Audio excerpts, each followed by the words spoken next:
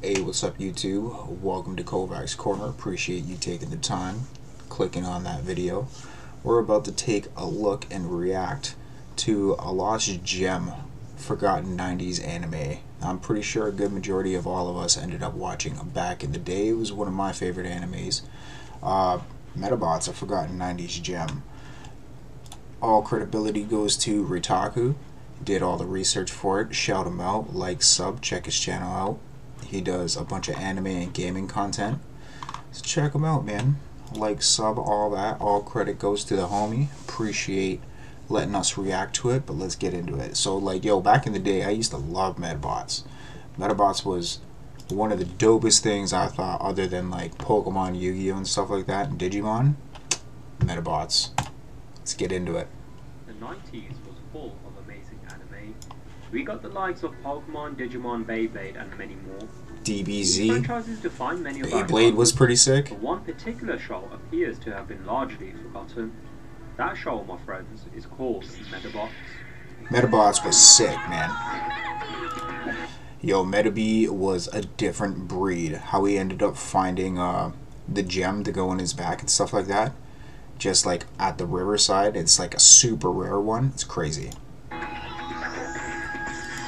Oh, and Metabee's like a mad old Medabot that Ikki pretty much got like secondhand, right? And that's Ikki. Medabots originally started out as a video game franchise, much like Pokemon did.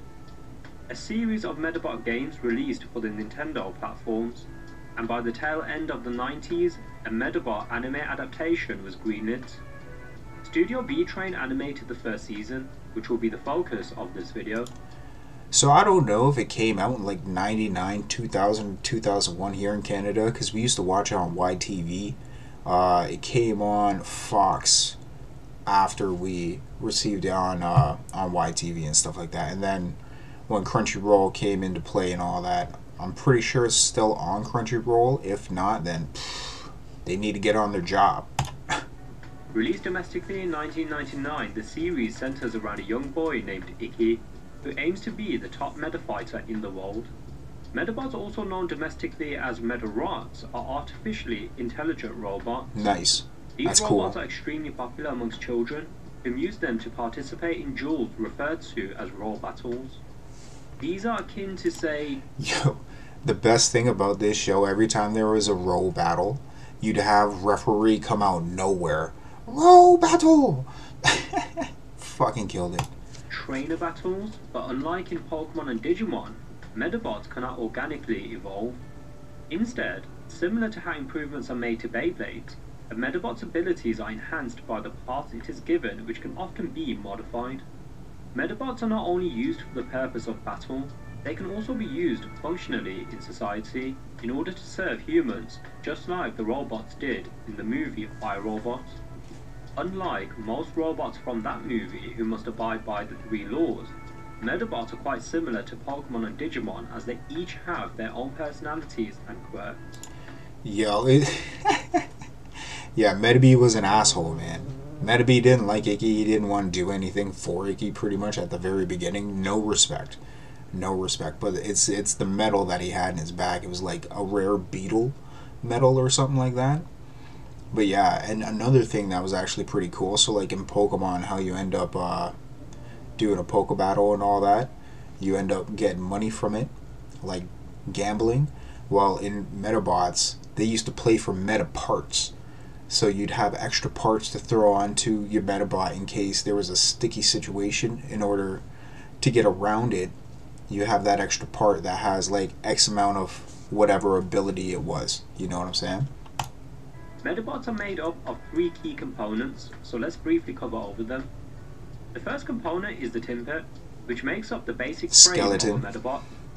The Tinpet is a metallic skeleton with muscle cables as the main component, enabling flexible movements and support for multiple parts with complex shapes. In addition, there are two types of models, male and female.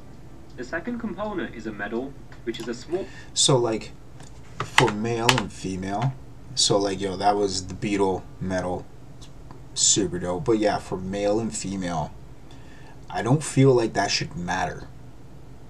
They're they're robots. what? What? Ah. and What? multiple parts with complex shapes. In addition, there are two types of models, male and female. that doesn't The make second sense. component is a medal, which is a small hexagonal metal that acts as the Medabot's brain.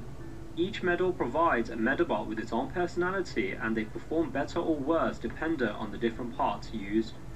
These unique parts are known as Medaparts, which is the third and final component which we will cover shortly. Not all medals are the same. Certain rare medals allow a Medabot to use the Medaforce. In the anime specifically, a Medabot with a rare medal are able to use the Medaforce, which gives the robot a massive power boost for a short period of time. So the Metal Force, eh? It's kind of like Beyblade when they used to call upon the creature within the Beyblade, give it that extra little bit of a oomph. And now onto the final component. Medaparts function as the robot's muscles as well as its weaponry. In battle, these parts determine what kind of abilities a Medabot is capable of using and Yeah. what kinds of terrain it is better suited to navigate. And that's true, kind of like the info tracks. You throw tracks on them if it's a rocky, grainy kind of terrain and whatever. Help them move, the mobility. There are four parts a Medabot must wear in order for it to be completely operative. Arms, the head legs, part torso, is where the medal head. is protected. If the head of a Medabot ceases its functions, the medal will eject and the Medabot will no longer be operational. In a battle, the head is the part which has limited abilities, mostly functioning as a protective housing unit for the medal. The parts used for the left arm and right arm determine the other two abilities a Medabot can perform. These parts can perform attacks so long as they're active, without restriction, and the Medabot itself is still operative. The parts used for its legs will determine how fast a Medabot is and will also determine the terrain the Medabot will move better or worse in. I plan to do an episode by episode breakdown of Medabot's first season, similar to some of these videos. So if you would like to see that, please do smash the like button and consider subscribing. Like, subscribe, check it out, because I'm, I'm going to be checking that out. That's pretty dope. to the channel. The anime series is an adaptation of the first two video games called Medarot 1 and Medarot 2. The show, however, is mainly based on Medarot 2 but also references backstory from the first Medarot game. Some of the characters are written slightly different for the show. Characters like the Phantom Renegade is written to be less of an antagonistic figure and more so depicted as a Robin Hood-esque vigilante whom sometimes I always thought that he was like a Robin Hood esque vigilante. You know what I'm saying? He seemed like he wanted to be uh, like Tuxedo Knight from Sailor Moon. times aids Ikki in his journey. We follow Ikki, an elementary school student who is the only one at school who does not have a Medabot of his own. You know what's funny? So like these were the antagonists, almost like Team Rocket. I'm telling you, man, it was it, they were so funny. Hers is Pepper Cat. I'm pretty sure was the name of her Medabot, and like it's pretty dope, super fast, super fast, and like ran with blades and stuff like that. It was pretty cool. But you can imagine there's nothing he wants more than to have one. One day, Ikki finds a medal in the river, but this is no mere ordinary medal. It is in fact an extremely rare one. An emergency forces him to use up his savings to buy an older model Medabot in order to help his friend Erika. Remember that medal he found? Well, it ends up putting Ikki in an odd situation when he soon finds his Medabot he refers to as Metabee is extremely stubborn and does not listen to his instructions. Yeah. Metabee's sassy personality often leads him to clash with Ikki. The best way I can describe their relationship in the beginning is toxic. it's funny that they say toxic because it's it, it's almost like with uh, Ash and Charmander, how Charmander was super loyal and stuff like that to like a fault where he was waiting on that rock almost past and stuff, and then when he evolves into Charmeleon, he has no respect for Ash, and then Charizard no respect. You have to earn the respect. And know what else I think's funny here? It's a training montage, but it's like, bro, they're robots. they don't need this. They don't need to pull tires and run. But unlike the toxicity between two grown adults, their hostility towards one another comes from a place of childish ignorance. As time passes, they slowly build a friendship based on mutual respect and trust in one another as they go on to become great partners. Just like Ash and Charizard. By his side, Ikki is well on his way to fulfilling his lifelong dream of becoming the top-ranked Medafighter, all whilst making new friends and fighting against the evil Rubber Robot gang. A great show is nothing without a strong roster It's funny that that robot gang too. They use ours like Team Rocket. of interesting side characters. To temper your expectations here, this is not an anime such as Attack on Titan, Hunter x Hunter, or Demon Slayer, where characters have complexly woven backstories. But the strength of these characters are in their quirks, which makes them all the more endearing. Take Ikki's best friend Erika, an aspiring journalist who will do just about anything to get the latest scoop, even if that means putting herself in danger's way. Yo, she put herself in so much danger's way all the time. All the time. It, it was kind of annoying. I'm not gonna lie. She's like, oh, I need to get the scoop. I forget the name of uh, her Medabot, but like all the time. Causing Ikki grief. Erika is strong willed and independent, but she also has a sweet feminine side and a clear soft spot for Ikki, which helps balance out her character. Even seemingly inconsequential characters like, say, Culture Mountain, one of the school faculty, has a charm to him. You know what's funny about this dude too? He like comes down on the class about all the all the Medabots and stuff like that. Like forget Medabots, you know, do training, makes them run laps and stuff like that. They end up the one episode they end up following him into a back alley in the city. This man Majam is out here Robattling for for bucks, straight bucks. Homeboy's stacked. He's like, a whole mob thing, too. It was crazy. completely obsessed with exercise. I mean, he even hates Medabots for no other particular reason but because he feels they distract the kids, which Facts. prevents them from pursuing more physical activities. Well, it turns out he's actually a sweetheart, as he used up all his funds to kit out his own Medabot he named Big Mole. The reason, you ask? Well, the reason is so that he can Robattle against a gangster who refers to himself as Big Brother. You see, this gangster is trying to purchase a plot of land in the coach's neighborhood. So what's the big deal with that, right? Well, the issue is that the neighborhood children have always wanted somewhere they could go and play. So Coach Mountain promised to build a park for them by purchasing that very land. Every penny he would earn, he was saving towards purchasing that land. The local crook refused to back out of his bid to buy the land. So, Coach Mountain purchased Digmole Wanna be wanna be friggin' mob member right there. This is the scene that I was talking about. How he's like in the back alley Robattling these mamma jammas. I thought it was a whole it's kinda like a money situation because he wanted to open that up for the kids and stuff for them to like after school special kind of place. It's pretty cool man. In order to get Big Brother to back out by defeating him in a Robattle. Not only are the human characters funny and interesting, so too are the Medabots themselves. Take Metabee for example. For me, he's the real star of the show. Yeah, He's quick-tempered, easily offended, and stubborn, often causing problems for Ikki due to his headstrong personality. To add, he also starts off extremely disobedient to his owner. But with that said, Metabee is loyal to those he cares about, and has his own unique way of expressing how much he cherishes them. The relationship between he and Ikki starts off toxic as hell, with both tearing into one another over the smallest of things. This makes for some hilarious exchanges between the two, and I also love how respectful Metabee is towards Ikki's parents, which only further grinds his gears as his Metabot slowly steps into his role as their son. oh, and then there's this guy, called Mr. Referee in the dub or Mr. Aruchi Boom. in the original. This guy's the GOAT. This guy's the GOAT. Mr. Referee show up out of nowhere. Literally Super Mario Styles out from a cylinder that you know doesn't have a hole in the ground. Like, are you just waiting there? What's going on? Can he teleport? Because, I don't know, man. Either he's a weirdo that's following around Ikki and Metabee just to see the Robattles, but you see him hosting and refereeing other Robattles. I don't know, man. Mr. Referee was the GOAT, but he's kind of weird. I ain't gonna lie. This geezer literally appears out the blue to officiate all the Robattles. Facts. Doesn't matter whether it takes place on the schoolyard or in another galaxy, he'll be there. I found him so annoying in the earlier episodes, but he really does grow on you as the season progresses, as it's evident he's an honest man who loathes cheating, and anyone caught doing so when he's refereeing a match will not go away unpunished. The animation for the most part is quite rough around the edges, and that's made more apparent in episodes where significant battles unfold, which are far more polished in comparison. But look, most 90s anime weren't exactly mind blowing in the animation department, and you may Fat Pikachu.